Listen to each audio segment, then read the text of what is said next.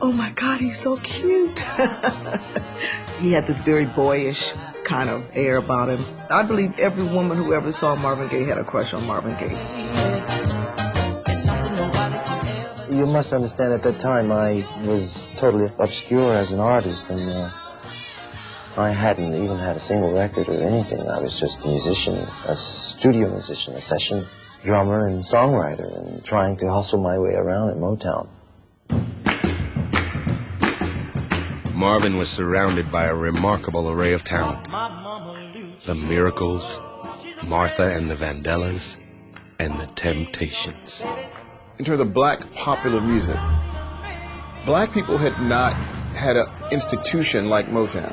When it got around that this was becoming a mecca, people started going up that way. Most of the people that came to Berry Gordy at that time had absolutely no clue of what we were to do and how we were to achieve it.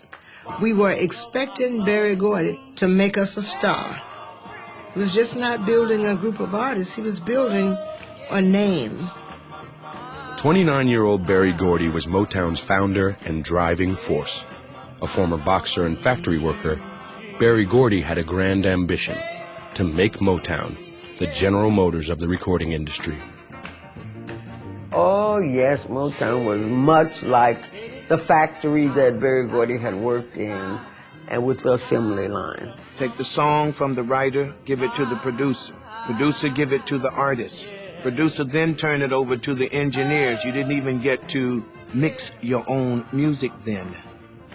Everybody had a job or designated whatever your expertise was in, and that's what you did.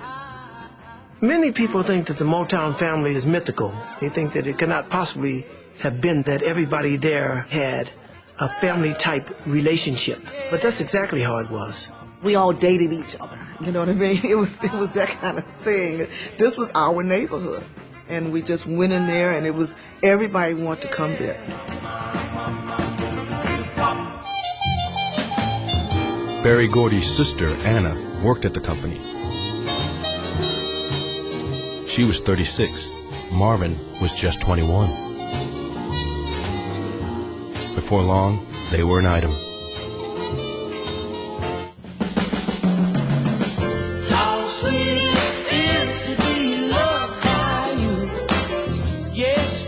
She was older, but you know how young men like older women, and older women like younger men. And I don't think they were thinking about age. It was just an attraction. No, Anna was a good looking woman. Anna hold her own. Anna was looking good. Anna was good looking. Anna was a fine woman. I would have married. I'm 17 I would have married.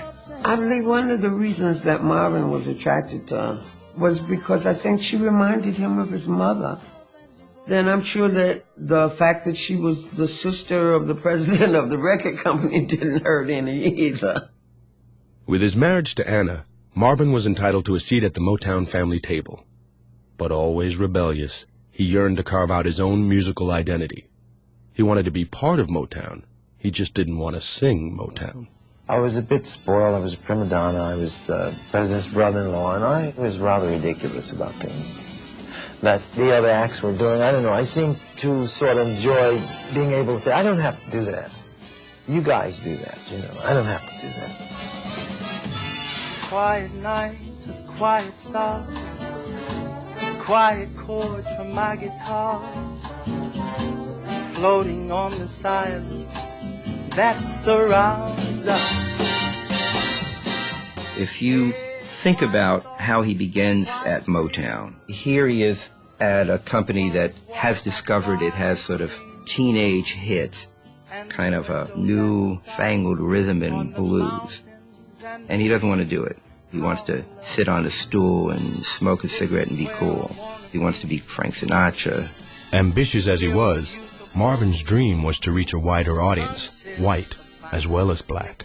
He says, no, I'm not going to give you rhythm and blues. And he's able to cut an album of standards of a kind of a jazzy Frank Sinatra style. But it doesn't work. Marvin couldn't pull that off because the people weren't buying that on the records during that time. And then he suddenly is looking around and he's seeing Mary Wells has a hit, and Smokey Robinson and the Miracles have a hit. Because he's a competitive person, he wants to hit. He writes and sings a song called Stubborn Kind of Fella.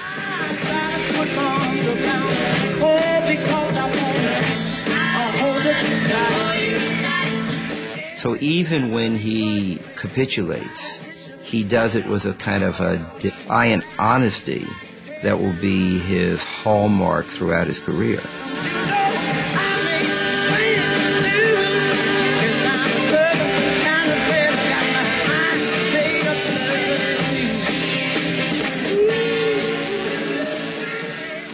Marvin was a genius, but he was a very competitive person. Marvin wanted to get there first. He wanted to be acknowledged as the only one, and he wanted to be seen as the superior one. When he's on stage with, you know, Stevie Wonder, and and Stevie Wonder goes out and really basically kicks his butt. you know, I mean, who's going to compete against Stevie Wonder? He's blind, he's a kid, and he's a genius. That's a hell of a combination. and Marvin was not nice in the way he framed it. Don't let that little blind sucker go on before me anymore. He wanted to do things his way, first of all, what he thought was the right road to take for his career. And a lot of times Berry and him would disagree on things like that, and they would argue uh, profusely. I couldn't deal with many of the political problems that I had to encounter at Motown, and many times it uh, sort of spilled over into personal disagreements, and in some cases some violent, uh, semi-violent disagreements between Berry and myself.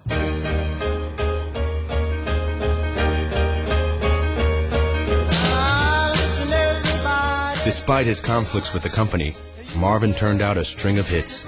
In less than two years, his dreams were realized. He was a star and a sex symbol. Marvin was the most versatile, probably R&B singer, soul singer of the era, maybe of all time, because Marvin could sing a mellow, he could sing raw, he could sing soft, he could sing a little falsetto. He was a person who could sing any kind of music you put in front of him. And I mean, really sing it he would Marvinize it. And he would do some stuff that, you know, I wanted to keep everything he did on every take and just put it all on the record, but you couldn't do that, you know. Marvin was a true recording artist in that he was happy in the studio because he could control his environment. He was uncomfortable as a performer. He had performance anxiety.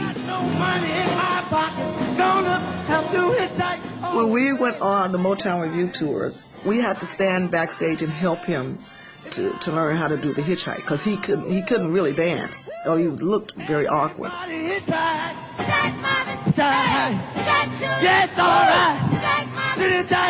Couldn't dance a lick.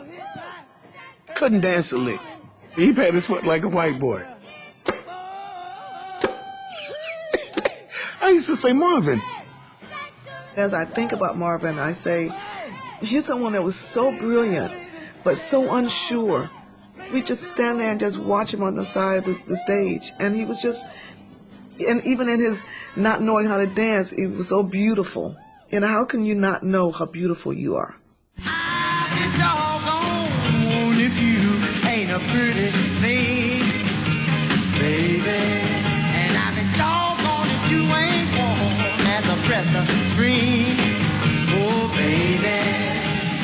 Marvin was the prince of Motown, but it was an uneasy crown he wore. He was filled with doubt about his fame, even